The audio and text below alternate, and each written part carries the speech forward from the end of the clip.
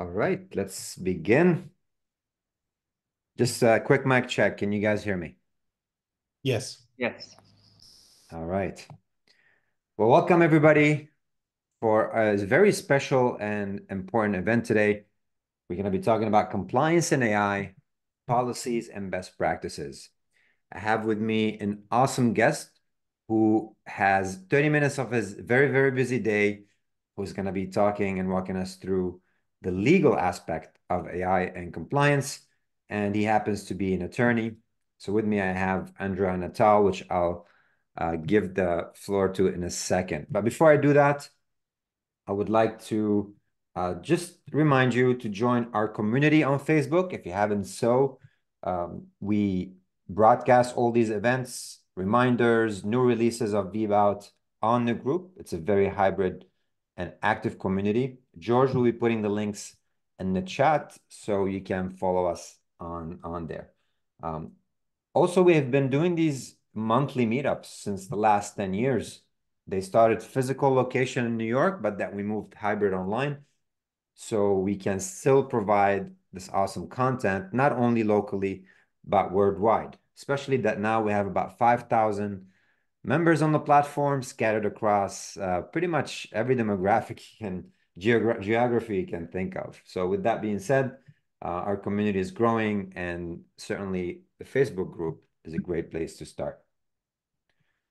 Now, I'm gonna begin with, uh, I'm gonna give the floor, the agenda for today is Andrea is gonna start going through a presentation that he has put together. I'll have some uh, very uh, important five questions to begin. I'll uh, then Andrea is gonna have to have a hard uh, cutoff at 5:30, and after that, I'm gonna take on and share with you the latest laws or the, uh, the actual uh, states and countries that are implementing the laws as of today, and what we should be worried about as a small business, digital marketing agency, or other um, when it comes to these laws. Now, we won't have time to ask Andrea a lot of questions, so we're going to probably have to uh, send the emails to Andrea after, so we'll share the emails as well. Thank you. Um, all right, so without further ado, I want to present Andrea to everybody, Andrea Natale uh, from Andrea Natale's law firm. Um, he is specialized in federal litigation and most recently branched into AI and compliance. Um, Andrea is um, is an awesome speaker. I've read the content and uh, he's has he has a lot to share with us today. So Andrea, without further ado, I'll give you the screen share so you can uh, you can begin. Thank you, Richard. Thank you for having me and for this opportunity. Hi, everyone. Uh, my name is Andrea Natale. Um, as a matter of fact, I am the founder of and the managing member of uh, law office of Andrea Natale, but I, since a couple of years, have been working with EPGD, where I specialized in litigation and corporate law. Let me explain you like the the importance of the partnership and the synergy with EPGD, because at EPGD we focus on helping businesses navigate complex legal challenges especially as AI transforms the regulatory landscape. Whether it is drafting policies, reviewing contracts, or defending against administrative actions, our goal is to help your business succeed in this new digital age. But before we dive into today's presentation, here is a quick overview of what we will cover. First, we will explore how AI is transforming marketing and why compliance is crucial in this new landscape. Next, we'll break down key regulatory uh, updates and look at the real world examples like Google 50 million euro fine for violating the GDPR. And finally, we will talk about how EPGD law can help your business stay compliant and avoid legal pitfalls. So I'm going to welcome you to the future of marketing. where AI is driving personalized experiences and automating everything from ad campaigns to customer service. But here is the real question. Why, while AI is busy revolutionizing how we connect with consumers, are we keeping up with the rules that governs this tech? AI can predict what we want before we even know it ourselves. But without proper compliance, it is a double-edged sword. Do you know how many businesses have already paid the price for mishandling AI and data privacy? Let me show you what can happen when compliance falls behind innovation. We're about to dive into these regulations, what these regulations are, why they matter, and how we can turn AI into a compliance success story, not a ticking time bomb. Let's get into the heart of why we are here, AI regulations. As AI becomes smarter, the laws surrounding it are ramping up. Think about GDPR, CCPA, the upcoming EU AI Act, and now the Algorithmic Accountability Act in the United States. These laws aren't just suggestions. They are game changers that can either boost your business or derail it. First, let's start with the well-known GDPR, the European regulation that is all about user consent and data privacy if you're using AI to process data, you need to be crystal clear about how and why you're, you are using that data. Next, the California's CCPA, which gives consumers the power to say, no, I do not want you to using my data. With AI marketing, you have got to build systems that give users control. Now let's talk about the elephant in the room, the EU AI Act. This one is coming fast, and it classifies AI systems by risk. If you're operating in Europe, high-risk AI will face serious scrutiny. You'll need human oversight, regular assessments, and bias detection built in the EU AI Act is set to become the world's first comprehensive regulation for AI, classifying AI systems by risk level. These range from unacceptable risk and therefore banned uses like social scoring to high-risk AI systems which face the strictest requirements. High-risk AI often used in sectors like healthcare or finance will require rigorous human oversight, continuous monitoring, and built-in bias detection to prevent discriminatory outcomes.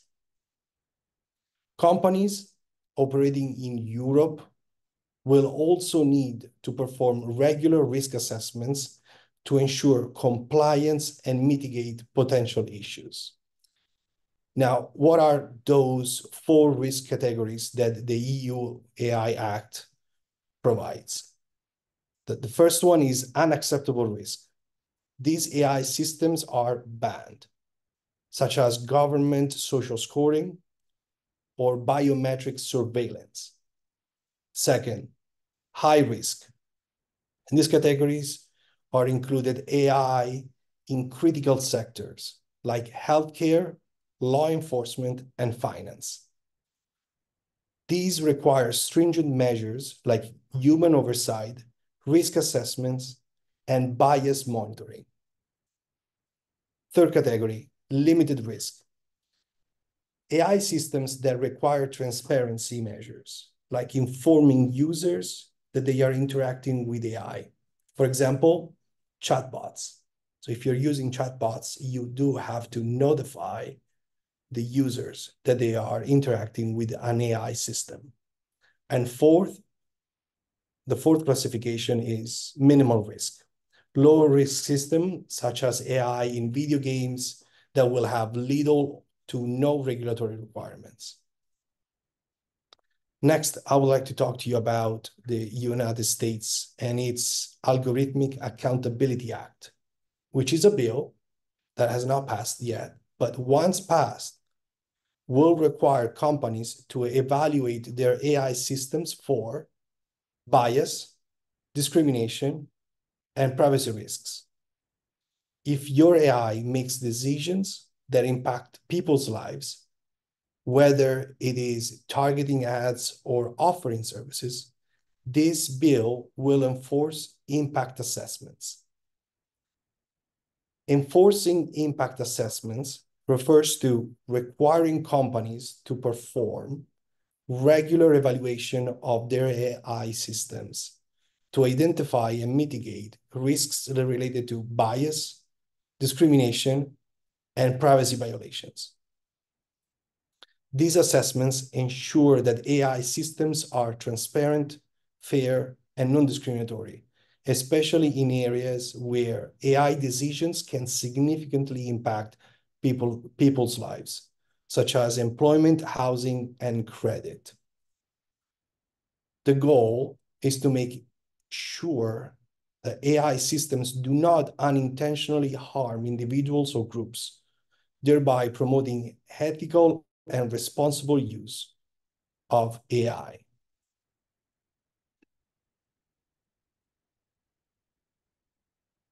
Now, imagine being hit with a 50 million euro fine. Google didn't have to imagine it. They lived it. This case was a major wake-up call for companies using AI in their marketing strategies. In 2019, Google was fined 50 million euros under the GDPR for two main issues. First, not being transparent enough about how they were collecting and using personal data. And second, for failing to get valid consent from users for personalized ads. Their AI-powered ad targeting system was brilliant, but it lacked the compliance backbone that GDPR demands. The fine was massive, but the real damage was to Google's reputation. Transparency and consent aren't just checkboxes. They are critical to building trust with consumers and avoiding devastating fines. In the next slide, we will look at how you can avoid being the next Google with practical steps to build compliance right into your AI systems. And just to uh, to add to that, Andrea, I guess that happened in 2019 around the GDPR implementation era. Now that we have the AI Act, we're probably going to see some additional lawsuits because of all the data that these AI models have processed. That probably means that Google has utilized so much information, which could potentially include bias. They have to be very clear how they got that data and how they're training the model, which they as a commercial product, they're not providing too much transparency on that. So I'm assuming they're probably going to be hit with an additional fine in the coming uh, in the coming few years. Um, yes. Yeah. And it seems also that uh, that they have not really changed their model. Um, so it is also possible that we'll be hit with other fines uh, under the GDPR as well but for some folks that could be just considered uh, the cost of doing business given that yes for us 50 million dollars would definitely break our banks but for a giant as as google um, could be fairly considered as the cost of doing business. And we will see how uh, this will resonate uh, with with the giants facebook uh, OpenAI, and which it seems to be like the most ethical like so far, and on how they share like their models, and also with with Google as well, um, because those are not just like how they comply with the the EU, but once passed this bill in the United States, they will have to implement similar measures, especially on bias detection, um, in order to avoid these kind of pitfalls. Thank you. Uh, starting like specifically like from there, like I wanted just to uh, reconnect, and now that we have seen like the risk of non-compliance, um, I wanted to talk to you about, and I would like to paint a picture that compliance can actually be a competitive advantage, not just uh, protection towards um, hefty fines because by embedding compliance into your, into your AI systems, you not only protect your business from fines, but you also build trust with your customers. I have distilled what I believe to be like four main steps of compliance in uh, like with with the AI. Or like first, transparency. Your users need to understand how their data is being used. Provide clear, concise explanations at every stage. Second, consent management.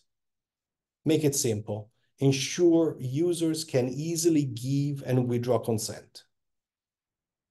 Third, bias detection, what we were talking about, and that is coming up not just in Europe, but also in the United States regularly test your AI for any signs of bias. AI should serve everyone equally. And fourth, human oversight. Don't let AI make all the decisions. Humans must always oversee high risk areas. Now, the question for for us, but mainly like for this group that is, that is attending uh, this webinar is how many of you have a structured system for auditing your AI's decisions? If not, this is where you need to start. Yeah, I'm, actually curious, uh, guys. Why don't you drop in the chat and let us know what is uh, who who here who's attending have some sort of a compliance framework. They've started some legal work on this internally. They do proper assessment for the AI uh, technologies that they have front facing with the clients, like AI chatbots. Drop us in the chat. Let us know. Um, that that's a that's a good question. Thank you, Richard. Um, now let, let's move to to the next slide, in which we will dive into a step further from compliance which is going to be ethical AI. Mm-hmm. Because being compliant isn't just about avoiding fines, it is also about doing the right thing. As we said, compliance is a must and will be a must. But let's take it a step further ethics. Being compliant can keep you from fines, but being ethical can build trust and future-proof your brand. Ethical AI is becoming the standard for companies that want to stand out. Three pillars of ethical AI. First, fairness. AI systems must treat everyone equally, and that means eliminating bias. Second, transparency. Users should know what's happening behind the scenes. Open algorithms build trust. Third, responsibility. Ensure your AI decisions reflect your brand values. Responsible AI practices aren't just good for compliance. They're good for business. Now, when we were talking about like risk proofing, like your AI system, I would like to provide you with, from my perspective, like uh, practical steps on how to take your your AI systems to uh, risk proofing. and to ensure that they align with both compliance and ethical standards.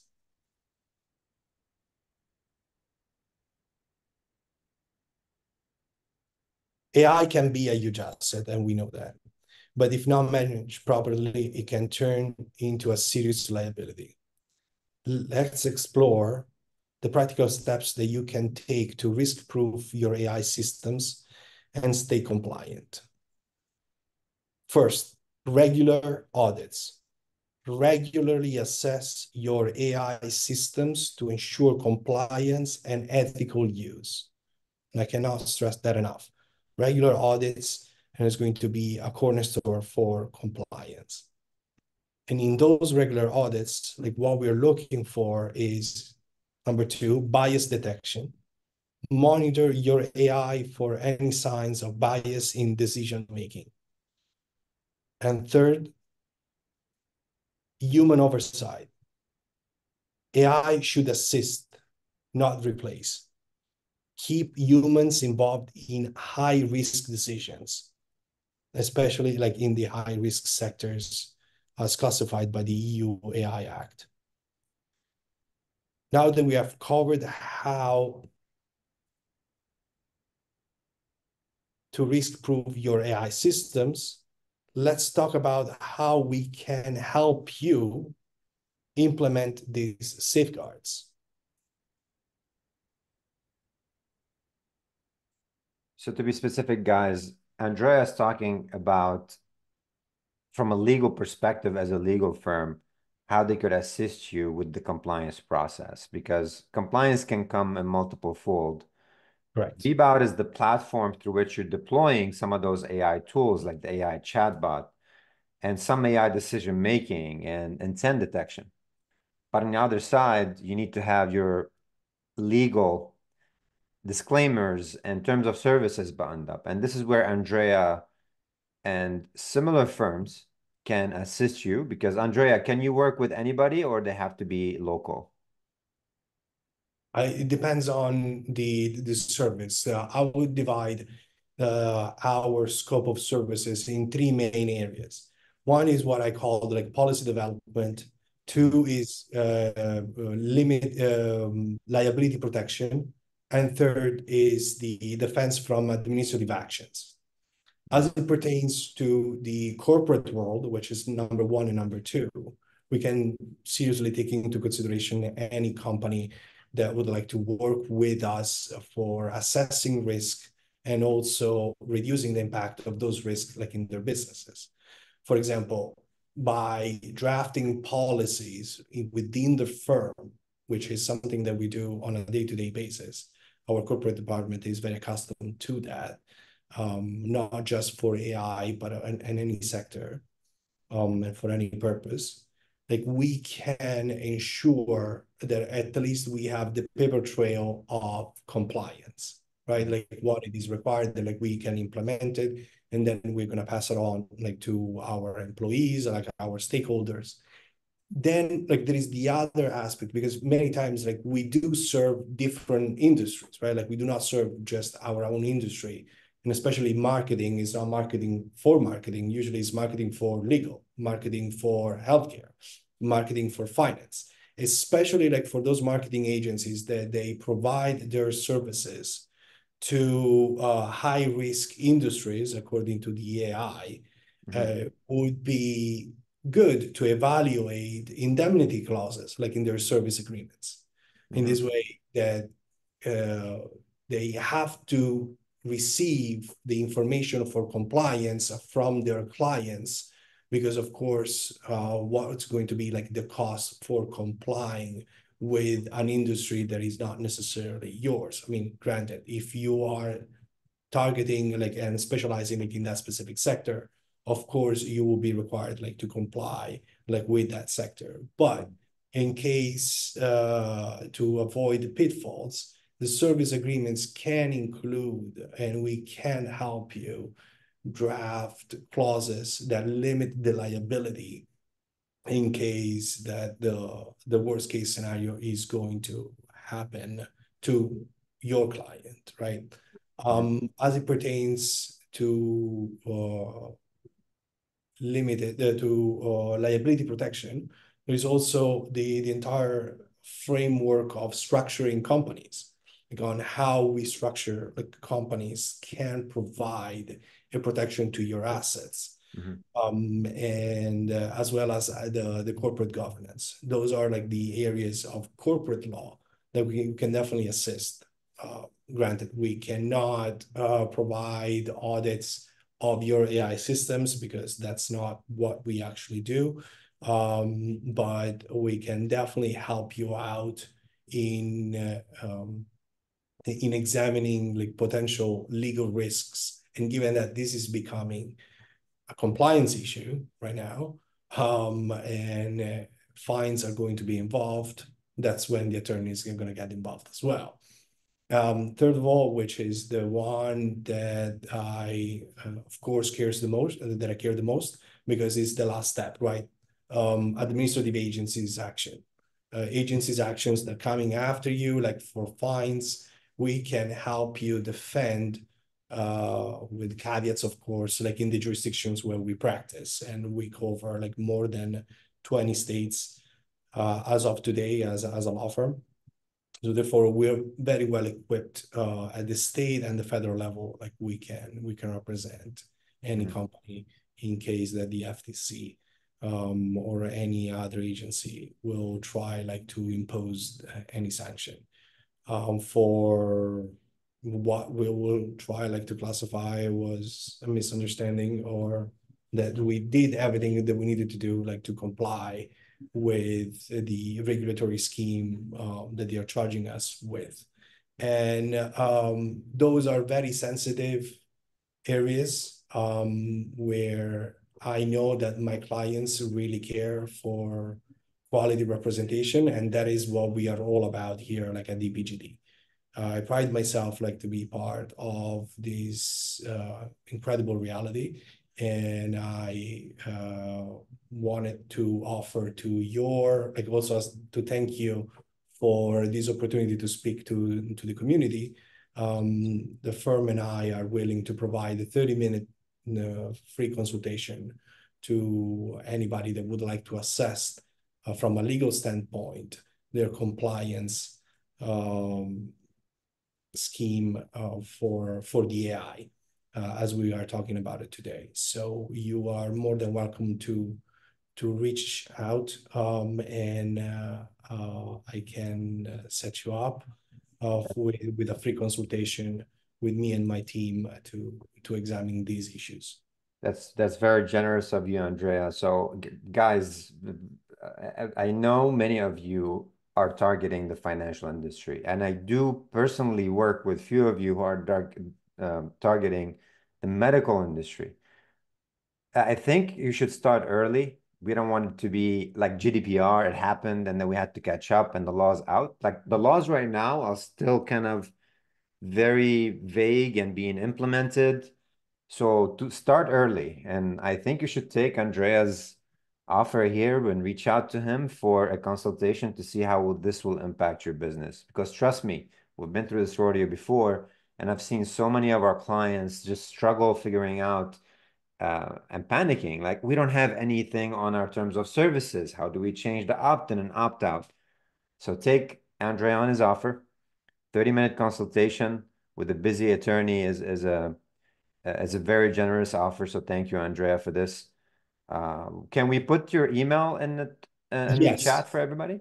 Just because like this uh, this presentation is recorded, I am uh, I have to make a disclaimer that this presentation is for educational purposes sure. only, and does not uh, cannot be interpreted as uh, any in any way as uh, a professional advice or services. But um, I can this is my email address now that I will get. Okay.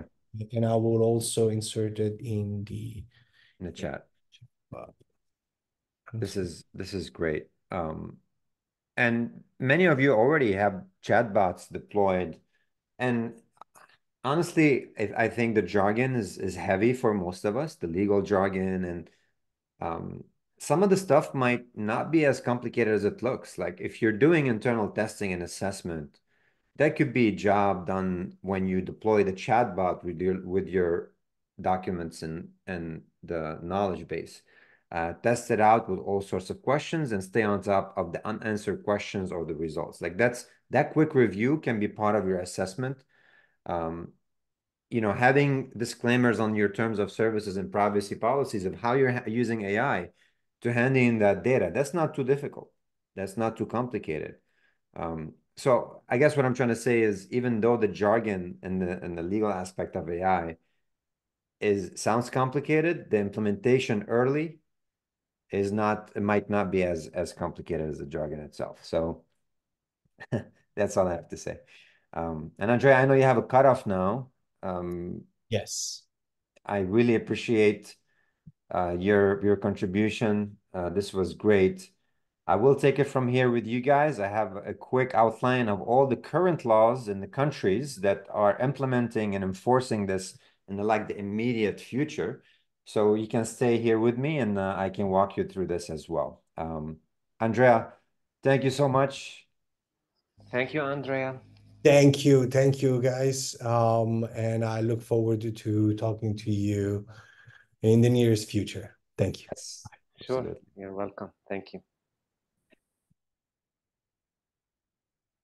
All right. Just making sure you see my screen, George. Yes, I do. Perfect. Perfect. All right. So guys, honestly, it's it's a take take them up on the, on his offer. Um, speak for them for 30 minutes to see maybe they'll tell you that you need to engage further, maybe they won't, but um, I think it's it's worth it's worth taking him on his offer. So by the way, this presentation that we put together is going to be sent by George so you guys can repurpose it for your own community if you're an agency or if you're a business and you want to internally share it with your stakeholder. We've put together a very solid presentation on importance of AI and compliance. Um, you know, obviously why, what drives responsible AI investments. And this is why our presentations usually are content rich, not only visual, because when you repurpose these presentations, you will have the material in front of you versus just spoken as as um, uh, you know Andrea was doing. It was just a presentation. So with that being said, uh, let's just cover real quick what current countries have actual laws in place that we need to worry about. And I already know, I mean, you already know we covered a couple. We have the EU AI Act, so I'll breeze through this one in terms of the classification. This one already, um, you know, was signed and is going to be in effect. It's already in effect in a way. Uh, it's the most comprehensive AI regulation across the world, pretty much. Um, it introduces compliance requirements for risky AI systems. And like he broke it down into three categories. Um, the unacceptable, meaning if a government is using social scoring to pick certain people, that's one category of social scoring.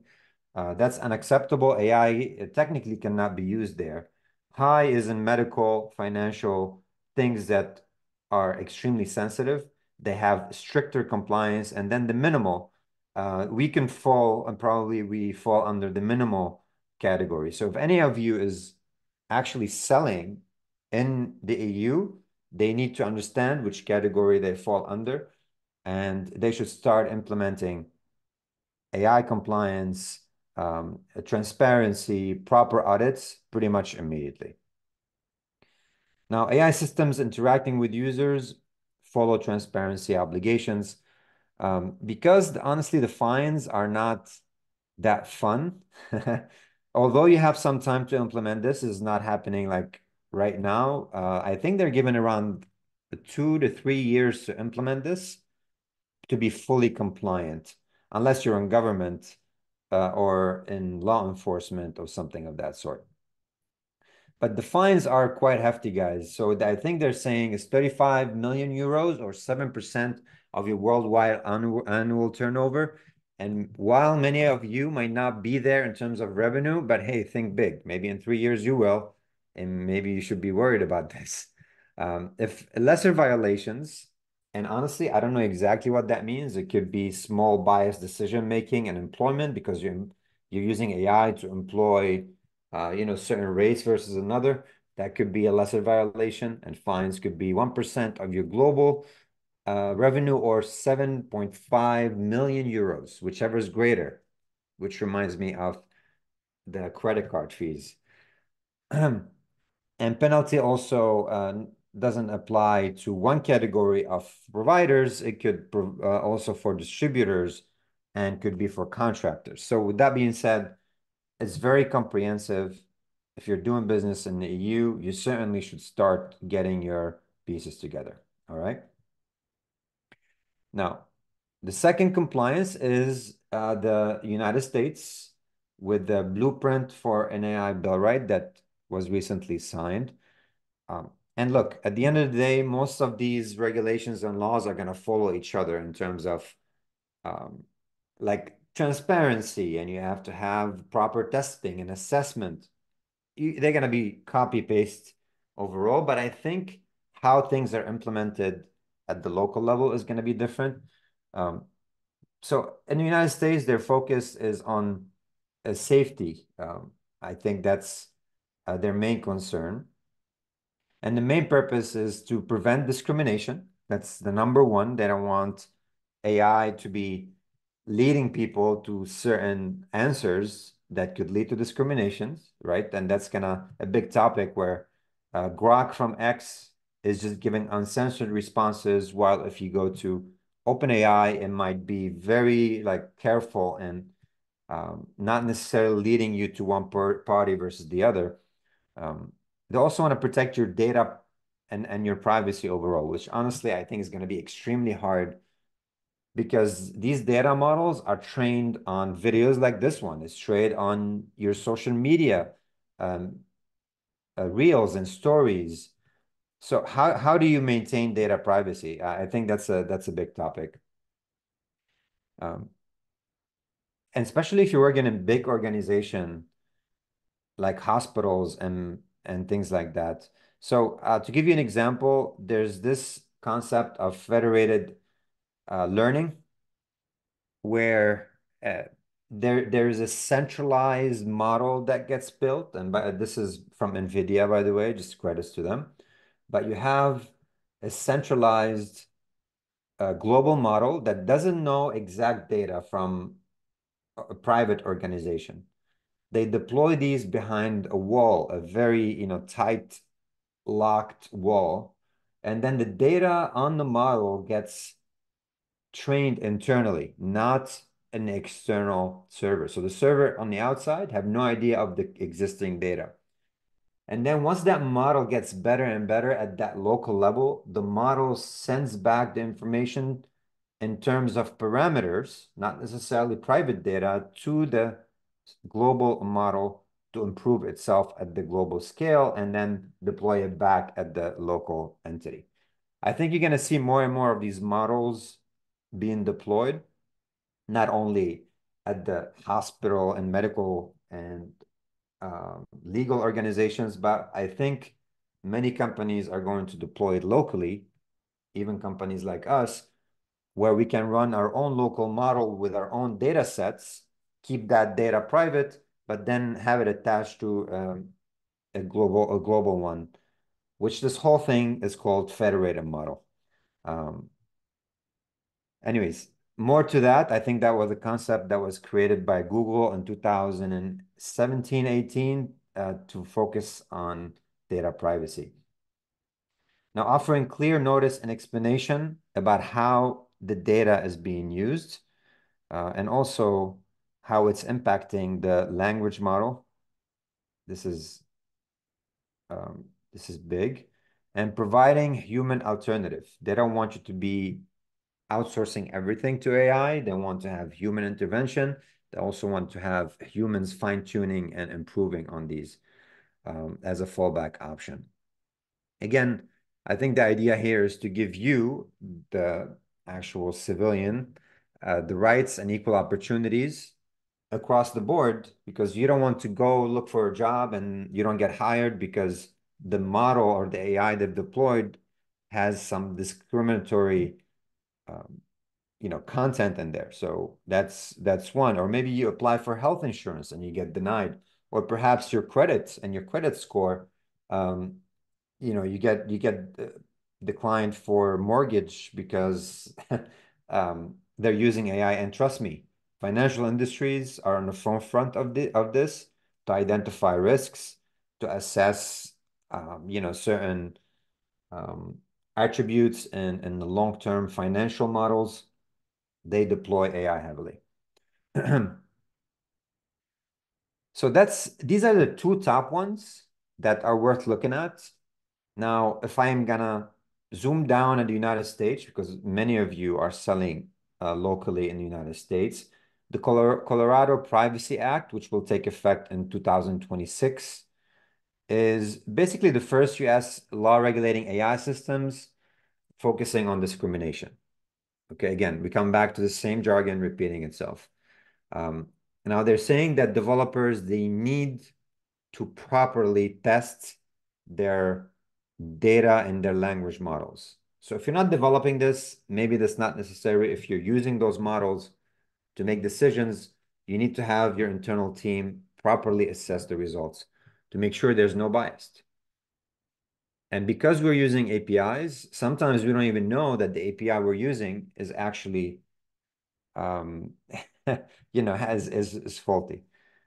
Um, so these are questions that we're starting to ask here at, at VBOUT, Building Technologies, and I think it's worth uh, you doing that the same on your end. Now, insurers using AI must prevent unfair discrimination. I think I said this, especially in insurance. That was a big topic from yesterday's debate. It's about insurance. Um, but insurance across the board, not only health insurance, probably car insurance and flood insurance and uh, all sorts of, of those. And they say to implement governments, governance, I'm sorry, to conduct testing and report the division of insurance to protect consumers from a discriminatory AI outcomes. Big words, big words. But we kept that in this interview, in this presentation, sorry, so you have the content if you'd like to repurpose it. All right, let's talk about Illinois. I think Illinois has a stricter AI compliance, uh, and I think particularly in job interviews, they're they're big on that. The law is clear. They don't want you to um, use AI extensively in job interviews. I don't know if it's completely banned or if you do it, you have to be like in full compliance right off the bat. Uh, so if you're a company using AI in the hiring process, you must look into this uh, if you're in Illinois. Also in their biometric, the BIPA, they call it, um, meaning if you are doing facial recognition, if you're doing, uh, you know, thumbnail um, or biometric tracking, you have to be going by the law as well. And you see how things are slightly fragmented in the United States where every every uh, state will have its own local laws and some things they focus on more than others whereas the EU is covering the entire uh, European Union. Not the UK by the way. The UK is not yet covered by this. Now Canada is big on uh, on AI and while their law is not new I think they started a little earlier in 2021 I think the beside the fact that they share the same concept of data privacy and high impact AI systems, they're really trying to push from the start, like the the innovation of these models should begin with compliance, not build them and figure out how to be compliant later. Um, which I think is a good approach for this. But Canada has been across the board from day one. They have a lot of laws for data privacy, even for email. It's very tough to cold email people, and they're following suit with this AI um, compliance stuff. Uh, again, conducting risk assessment, establish risk mitigation measures, and ensure continuous monitoring. So how do you do each one of these? I think I'm going to leave you with some some of those uh, to ask Gemini or ChatGPT, how do I do my risk assessment? Can you create a little Excel or you know a, a, little table of how I can do it? You can get those templates created strictly for your business uh, with ChatGPT, for example. And I think the idea is they should be very transparent of disclosing information about the functioning, intending, uh, intended use and risk management of these of these tools. we have a few more here, and I'll take questions. Uh, China, obviously, they're on the frontier of AI. And quite frankly, if you look on GitHub and, and other places, uh, they, they are pushing some real good technology, open sourcing a lot of it. Um, of course, be careful what you're downloading out there. You don't want to be farming, uh, or you don't want to become a proxy, you know, or your server to become a proxy. Uh, but just the the the laws that they're pushing and the innovation they're pushing is very impressive. Um, so obviously it applies on Gen AI that provides services for the public. And Alibaba is, uh, by the way, a big driver of new AI innovation. And I think they cover the entire, um, you know, at, every every territory in China. So they require those companies uh, using or building Gen AI to protect user input information and use usage records. Um, that's that's one. Uh, collect and retain personal information in accordance the principles of minimization and necessity, meaning don't collect more data than you can, because if you build technologies, you understand that sometimes you can collect a lot more information than the user know they are giving out. So I think they're trying to minimize that external extra data collection to establish ways by which you can handle complaints, which is almost like the GDPR. If somebody wants to know how much information you have, you can pull that information or put a request and the vendor need to give you um, that stuff. All right. So these are the countries that have actual laws that have passed and they're going to take effect pretty much immediately with some time frame for you to implement and be compliant. Um, now, some countries that have an AI framework that's not necessarily legally binding, you have Brazil AI Bill of Rights. From what we've gathered, it's not enforced, even though there's uh, already in Brazil a law for data privacy and how you handle data this is still almost like a framework that falls underneath that main law. Um, but overall, they're pushing innovation when it comes to AI. The UK AI Safety Summit, UK does not have any laws as of now, from what I, I gathered as well. Uh, but they did push on the safety aspect of AI, AI deployment. The Saudi Arabia AI ethics principle, which is actually close enough to being a law because I think they deployed it under an umbrella that's already enforced, uh, but it's still quite vague, and they're catching up. And that applies to, by the way, um, the United Emirates, UAE. They they are pushing some laws towards that.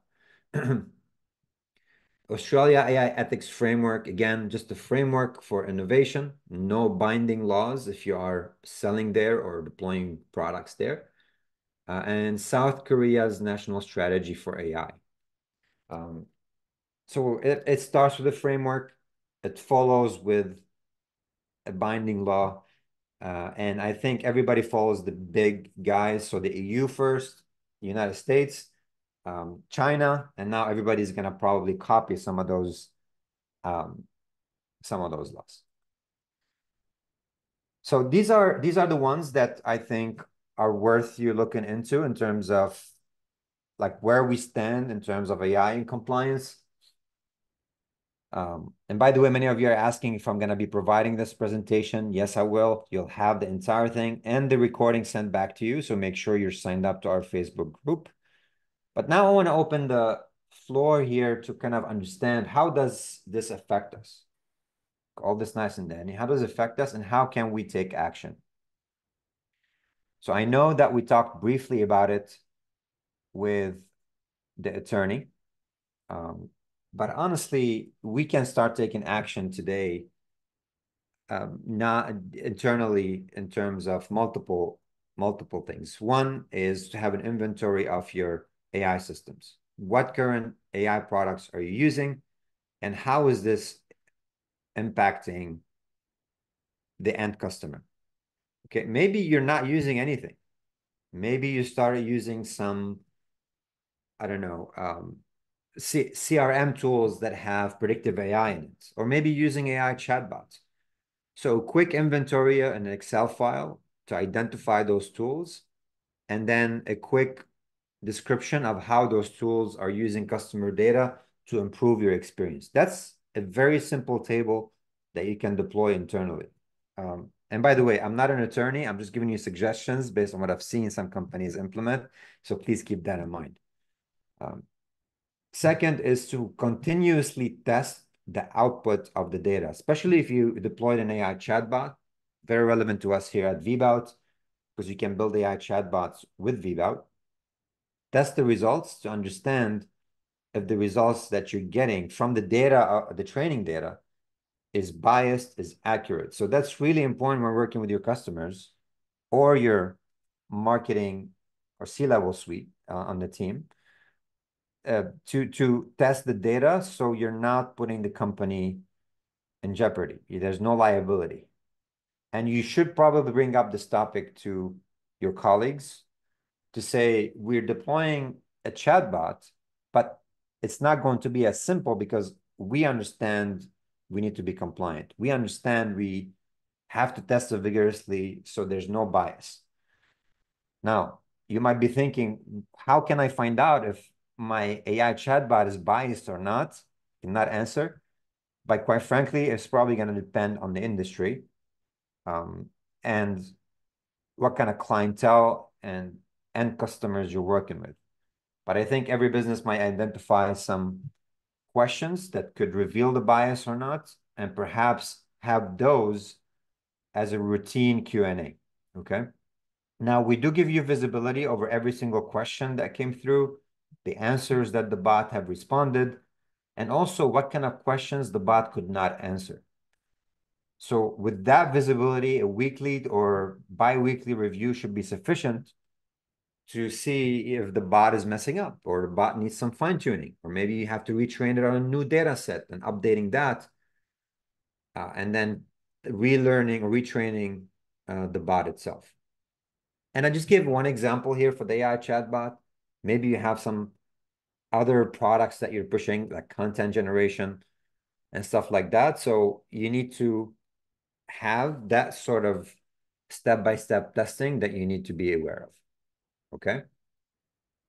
And then number three is putting all this together on your terms of service and linking those to your contracts. So if your contracts include links to the terms of services and people have to approve your terms of service before they sign up, you're very clear on uh, on this thing. And maybe I can show you quickly um, because we're working on this in VBOUT, so it's not quite live. Once we do, I'll make sure to provide it as a template for everybody.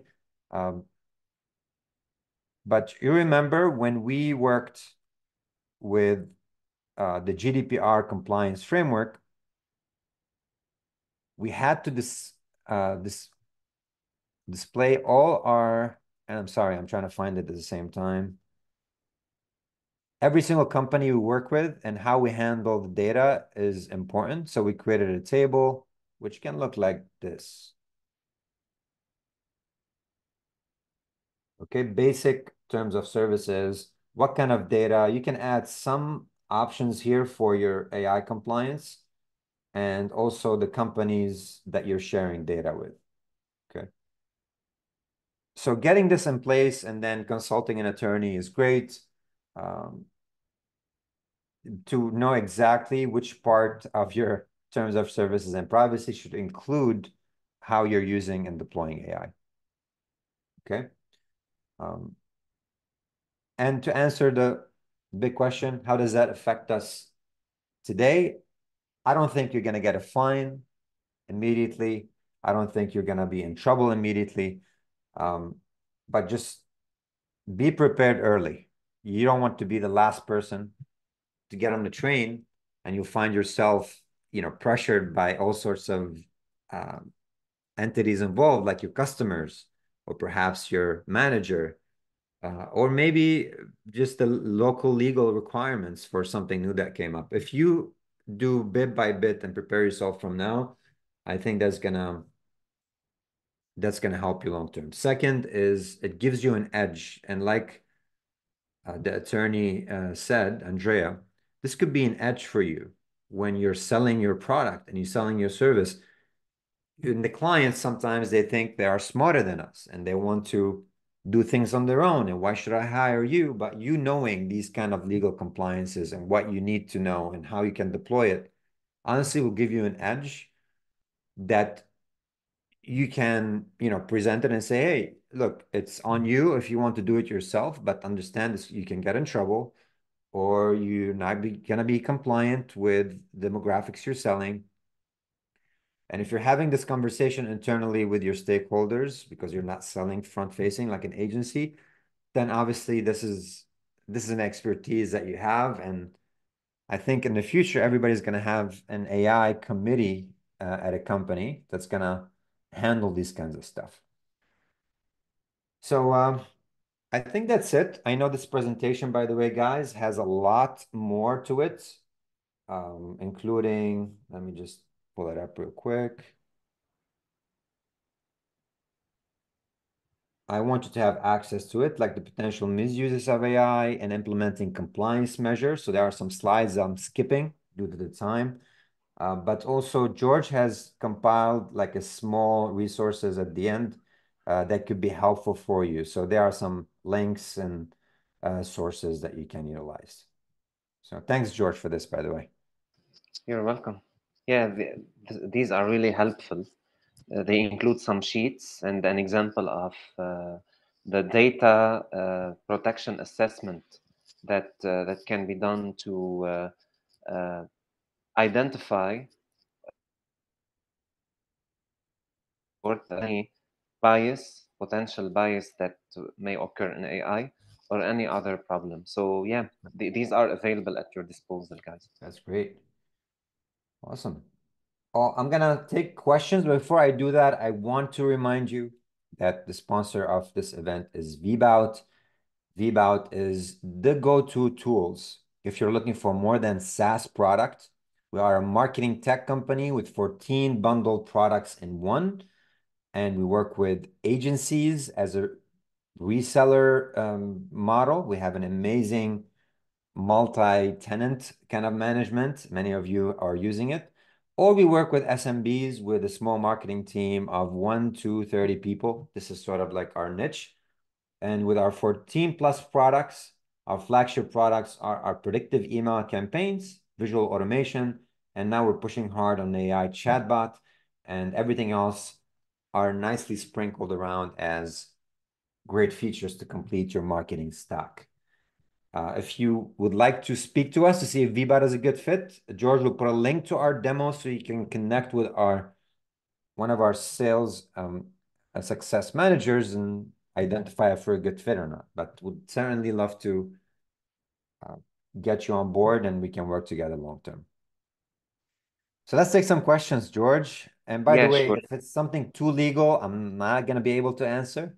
Uh, Andrea yeah, of course. Uh, that, Let's that start. you can email them with your, your questions, by the way. So take him up on his 30 minutes and email some questions. Why not? yeah. So. Yeah, of course. Um, we have a question from Manpreet. Do we have a HIPAA compliance on our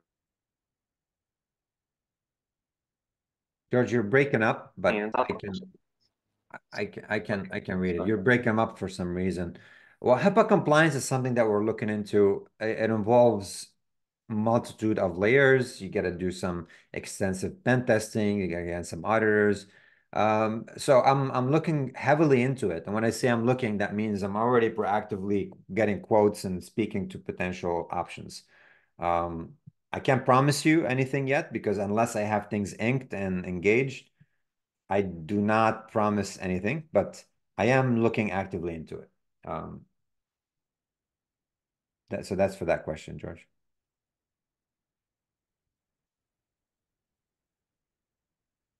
Dave, uh, you can of course contact uh, Andrea, but uh, Dave was asking if this is similar to about the EU AI Act if it's similar to GDPR, where US-based local businesses who sell, who only sell to domestic local customers, are essentially exempt from. Well, no, George, you're breaking up again. I'm sorry, but I think I I understand. If you're not selling in the EU, you do not necessarily need to be worried about all the EU compliance, but the US AI uh, law is actually not too far from it, except in how they categorize, you know, your company and and your your your sector, etc. Um, so quite frankly, if you're not selling in the EU, don't worry too much. But if you are selling in the United States, you probably should start with basic compliance. Uh, you know, test your products and have a routine test to make sure it's not spitting up the wrong biased results. Um, put the right terms of services, and it could be a paragraph. It doesn't have to be anything extensive. Um, and um, you know, have like an AI committee internally. If you're one person, it's you, you, and you, and you can review things with yourself uh, and think about it and make decisions a lot faster. So that that's that. Richard, can you hear me? Now I can, George. Yes. Okay, great. Uh, Will, can you please uh, explain more what what do you mean with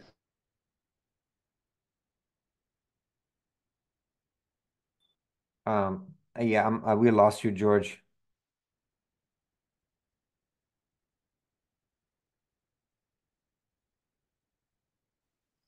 Uh, George, I'm sorry, we lost you. Can you hear me? Now you're back. Oh, okay. No, I was asking. Uh, he said. Oh, we can't hear you, George. And then I. Sorry. We can't hear you. I'm sorry. Uh, if you want to drop in your question, Will, I'm. I'm. George is dancing. No, please drop the chat in the chat uh, your question again. I'm sorry if I missed it. Um, yeah, George, I'm sorry. I can't see the question and we cannot hear you anymore. Is there any law surrounding having to send a chat transcript from a conversation with a chat bot? Uh, that's very specific, Manuela. Um, I mean, if you have a chatbot engaging with people, I think it's going to be good practice to state in the chatbot introductory this is this chat is powered by AI. How can I help you? And if you're sending that conversation back, I mean, before you send the conversation to the person, uh, the transcript, there's a conversation happening between you and the consumer, and the answers from the bot should probably be as um, I've, I've said said biased a lot, so I'm gonna say unbiased as possible and the data is as accurate as possible. Now, because we are training the data in the chatbot strictly on information given by you, your Word documents, your website, I mean, there's not a lot to worry about, you know? Um, but when you're opening this to a much larger model and answering, you know, questions about politics and health and medical advice and stuff like that, you certainly uh, need to be more specific. So, yeah. I'm sorry, Well, I still don't have your question. Uh, responding that you said working PDF for us or from that oh I'm not sure. All right, so Manpreet is asking if we're collecting any personal information via the chatbot, but only using it to answer general question and answers in the financial taxation and insurance industry, is it safe to present for this use? Um, yeah, again, I would definitely uh, ask legal, but if you're if you're collecting information, personal information from the chatbot, like first name and email, just be as explicit as you are in your forms. The concept does not change. To tell them, you know, we will be using this for one, two, three, you know. Um, now, VBOUT, we gave you two options to use the bot form. One is to have conversational form asking a question. Can I have your first name, your last name? If you do it this way, you have to make sure you put the proper disclaimer because they cannot click on I consent. They're just going to respond. So with that being said, you probably have to say that before they provide the email. We give you the prompt for the form so you can customize that in VBOUT, which is pretty cool. The other option is to embed the form as a whole with an option on the bottom. If you build the forms in VBOUT, we, we have a consent prompt on the bottom. So if you've embedded the form as an option in the bot, then they have to click on it to submit, which is the native behavior of GDPR compliance option, okay?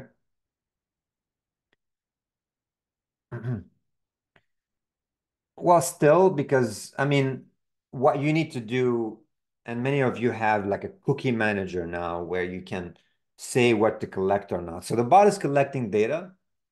If you did not include that the bot can be turned off from the cookie manager. Uh, and personal data is different, right? Some people, their IP is a personal data. In VBOUT, we anonymize the data for you, uh, IP, so you can't see it, but we're tracking the person's activity from page to page to page. Um, some people now are using IP to cookie. I mean, IP to cookie to company, which is connected to third-party data, which you have to be specific about as well. So honestly, to save yourself from the headache, just be clear on this is an AI chatbot and put on your terms of services and privacy policy um, a section on that. We are working on it in VBOUT, so I think I will provide you guys with the templates on that as soon as they're ready, okay?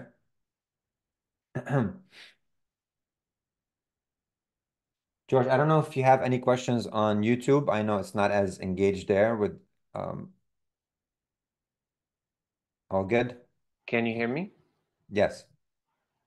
No, no, it's all good on YouTube. Uh, I told her to contact Andrea. Got it. Got it. Um, Manuela, that's a great question. Is the AI, um, is the data collected by the chatbots doesn't go back to the public AI pool correct or not? And if it stays on the local private server as per your previous screen? Great question, uh, Manuela. So um, we're using augmented models that only look at your data. It doesn't look at the information of the person. If somebody gave you a piece of information, it does not uh, go to the AI model. That stays in VBOUT and it follows the VBOUT, obviously how we protect the data. We don't share your data. We don't resell your data ever, ever. Um, now the questions and answers, I have to go back to the APIs because we're using OpenAI's APIs. And we have in between a learning model, which we now optimize to be agents. Um, I think it, uh, the agent itself might have visibility on the the documents because it needs to train the model on the existing data and then create the arrays in the sector to be able to answer. Uh, I'll probably have to dig a little bit deeper on on that, but I, I took a note of it. Thank you for asking this. It's a great question.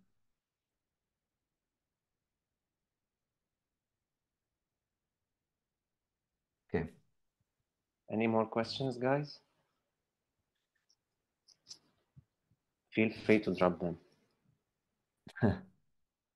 All right. It seems like we, uh, I mean, for a legal topic, so many of you has has has stayed with us. That that means that this is near and dear for many, and probably many of you are wondering, like, I'm I'm using all these AI products being dumped on us from AI content gen to AI chatbots to AI uh, ad creation.